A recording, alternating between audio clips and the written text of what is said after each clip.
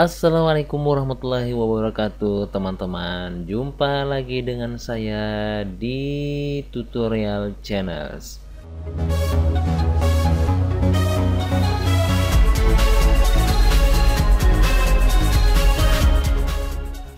Ya baiklah. Apa kabar semua? Semoga selalu dalam lindungan Allah Subhanahu Wa Taala sehat-sehat uh, semua dan kesehatan itu penting jadi harus kita jaga. Semoga dengan menjaga kesehatan itu bernilai ibadah tentunya. Amin.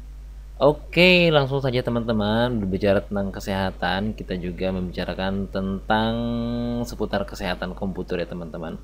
Ya di sini saya akan membahas tentang harddisk yang terkadang tidak terdeteksi di komputer kita. Hmm sekarang saya akan coba ya langsung praktekkan bagaimana harddisk yang tidak terdeteksi. Di sini saya ada dua harddisk eksternal yang akan saya pasang. Kita akan lihat reaksinya. Saya pasang satu. Ya, berbunyi. Kemudian dia muncul. Oke. Kemudian saya akan coba satu lagi. Harddisknya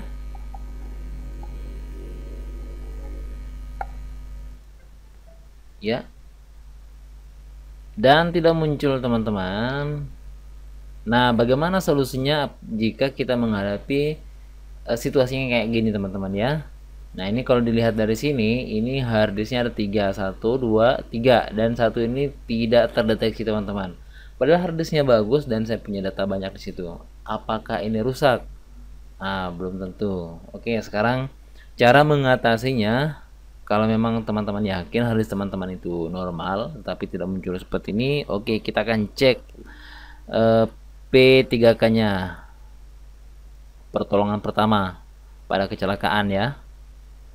Ya di sini kita di sini kita masuk ke disk PC ini saya menggunakan Windows 8 pada disk PC ini kita klik kanan mouse ya klik kanan mouse ada klik kiri mouse ada klik kanan mouse. Kita pilih klik kanan mouse hingga muncul menu seperti ini. Nah kemudian kita pilih ke manage. Tulisannya manage manage. Nah kemudian tampilannya seperti ini teman-teman. Kalau teman-teman sudah sampai ke tahapan ini berarti teman-teman itu sudah benar langkahnya. Nah anggap teman-teman ini sudah berhasil sesuai dengan yang saya instruksikan saya contohkan. Sekarang kita masuk ke sini teman-teman storage ini masuk ke disk management. Klik disk management klik kiri teman-teman ya. Hmm, oke. Okay. nah di sini kan kita lihat hard disk yang terpasang di sini teman-teman.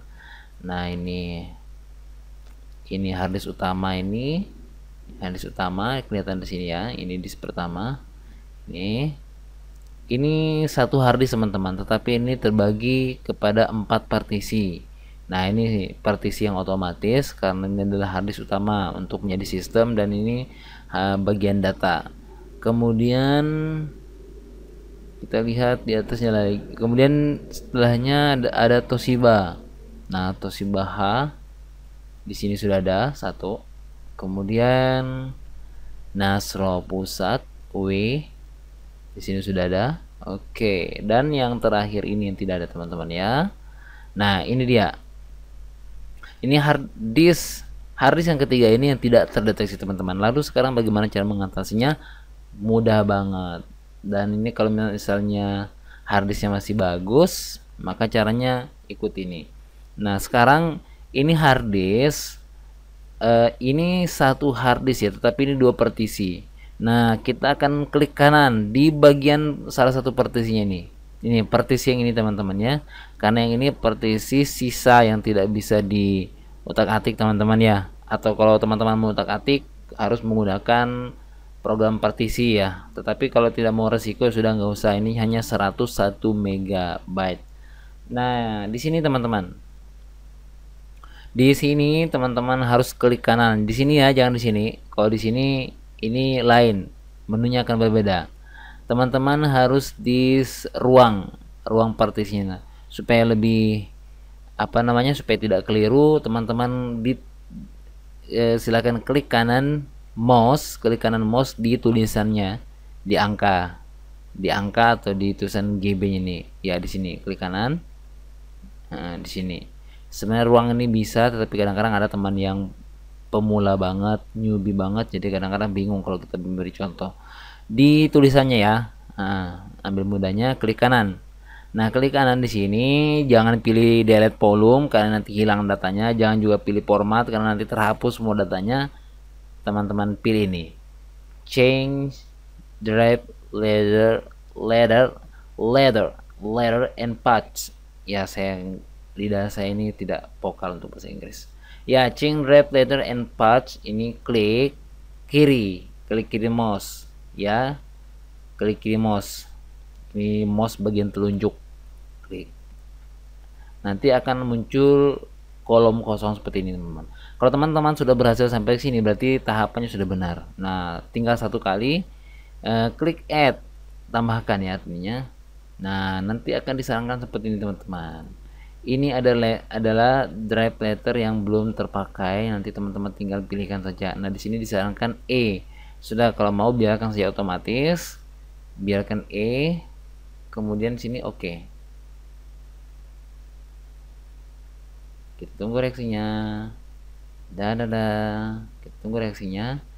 Ini lihat mouse-nya masih berputar-putar kursornya masih berputar-putar berarti dia sedang proses. Oh ya sudah selesai? Coba kita lihat. Oke teman-teman ini dia. Sudah berhasil muncul.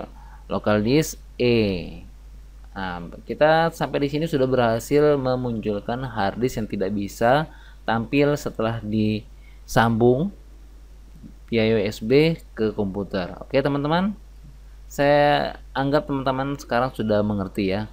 Ya semoga dengan video singkat ini teman-teman bisa uh, paham dan bisa mempraktekkan apabila terjadi di komputer atau di laptop teman-teman ya. Dan jangan lupa untuk menjaga harddisk teman-teman itu jangan sampai harddisknya terjatuh karena kalau terjatuh itu bisa membahayakan oke kesehatan harddisk teman-teman nantinya. Nah kemudian sebagai bonus dari penutup saya eh, sebagai bonus penutup daripada video ini saya sarankan teman-teman apabila ingin mencabut flash disk atau hard disk teman-teman itu harus lewat sini teman-temannya. Munculkan menu. Kalau dia tidak ada muncul di sini klik tanda panah ke atas ini. Nanti klik sini teman-teman. Klik kiri mouse. Klik kiri mouse sebelah telunjuk ya. Nanti mana yang akan dicopot? Misalnya yang disk E silakan teman-teman itu klik yang bagian E. Ya diklik. Nah, ini saya coba klik hingga muncul tulisan seperti ini berarti dia sudah aman untuk dicabut ya. Tetapi kalau misalnya yang seperti ini saya akan contohkan. Ada bentuk atau contoh yang tidak aman dicabut. Dan kalau misalnya seperti itu jangan dicabut teman-teman. Kalaupun misalnya kalaupun dicabut itu teman-teman harus uh, posisi komputer teman-teman itu shutdown misalnya saya buka ini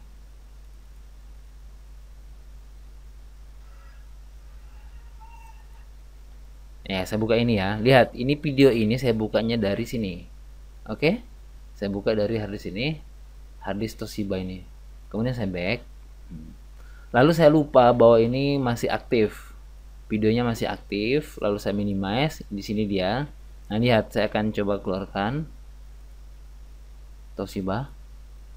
Nah, lihat teman-teman, apabila ada peringatan seperti ini, jangan teman-teman cabut plus disk ataupun hard disk teman-teman karena ini sangat membahayakan ya. Bisa jadi nanti plus disk atau hard disk teman-teman rusak. Ya, mungkin sekali dua kali nggak rusak, tapi untuk sekian kalinya siapa tahu NAS apes itu bahaya. Oke, jadi yang harus dilakukan apa? Oke, cari mana file yang teman-teman buka. Saya tutup.